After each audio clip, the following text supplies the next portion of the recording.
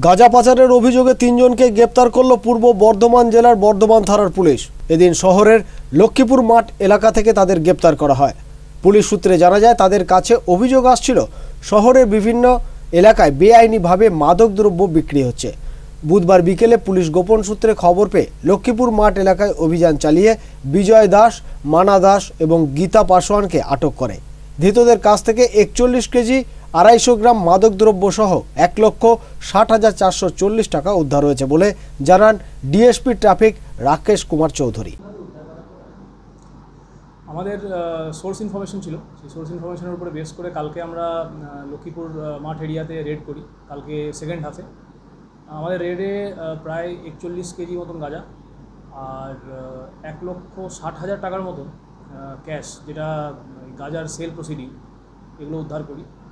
ওখানে আমরা তিনজনকে অ্যারেস্ট করি আর সেই অ্যারেস্টেড পার্সনগুলোকে আজকে কোর্টে ফরওয়ার্ড করা হয়েছে। আমরা একটা তদন্ত সাপেক্ষ ব্যাপার তবে আমাদের সন্দেহ যে এরা রেগুলার বেসিসেই এই কাজটা করতো আর ফার্দার ইনভেস্টিগেশনে ডিটেলসগুলো বেরিয়ে আসবে।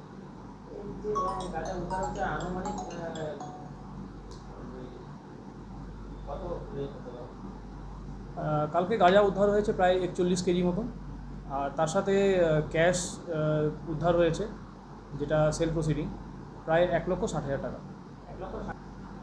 বাজার মূল্য সেটা এক্সপার্ট ওপিনিয়ন দিয়ে অ্যারেঞ্জ করতে হবে কারণ সেই এস্টিমেট আমরা এখনও আমাদের এন্ড থেকে করিনি আমরা বর্ধমান থানার আন্ডারেই এই রেটটা করেছি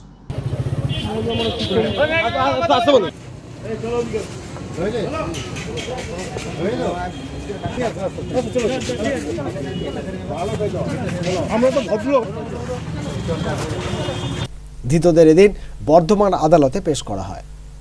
বর্ধমান থেকে টিঙ্কু সাও আনন্দ বার্তা